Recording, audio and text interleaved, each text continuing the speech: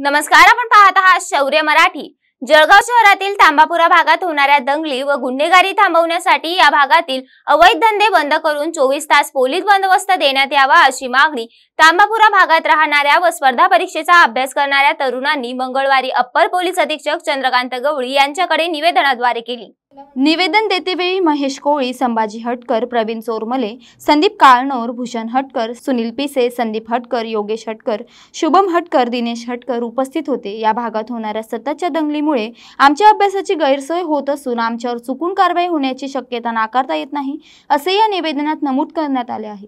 आम्ही तामापूर भागातील स्पर्धा परीक्षा व इतर शिक्षण करणारे विद्यार्थी ज्यावेळेस ताम तामापूर भागात राजकारणातून किंवा कुठल्याही परिस्थितीत अवैध धंदे तिथं भरपूर चालत असतात सामाजिक तेढ निर्माण होतो त्यासाठी तिथं आमच्यासारख्या विद्यार्थ्यांची शैक्षणिक नुकसान होते. भविष्यात किंवा प्रत्येक वेळेस ज्यावेळेस दंगली करतात त्यावेळेस पोलीस तिथे येतात पोलिसांना विचारपूस केव्हा होते केव्हा होत नाही ज्यावेळेस पोलीस आम्हाला घेऊन जाऊ शकतात आमच्यावर कारवाई होऊ शकते आमचे आईवडील हातमजुरी करून सण आम्हाला शैक्षणिक पुरवतायत खर्च पुरवतायत. आणि आम्ही त्या भागात राहतो ती आमची काही चूक नाही.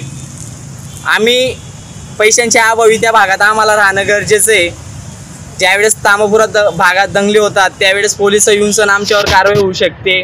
त्यासाठी आम्ही आज पोलिसांना निवेदन दिलेले ॲडिशनल गौडी साहेबांनी आमचं ते निवेदन स्वीकारलेले याआधी आमचं कुठल्याही प्रकारे त्रास झालेला नाही. त्यावेळेस आमचं वय कमी होतं. आज आमचं वय गुन्हे म्हणजे गुन्हेगार म्हणून सर आम्हाला साबित करण्यात येईल असं आमचं वय झालेलं आहे. आणि त्यावेळेस आमच्यावर कुठली कारवाई झालेली नव्हती.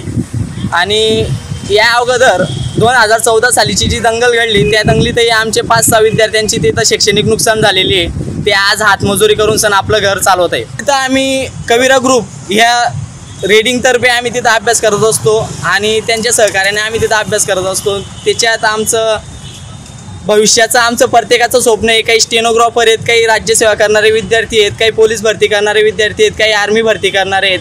असे भरपूर विद्यार्थी आहेत काही इंजिनिअरिंगला आहे काही एम बी बी एसला आहेत.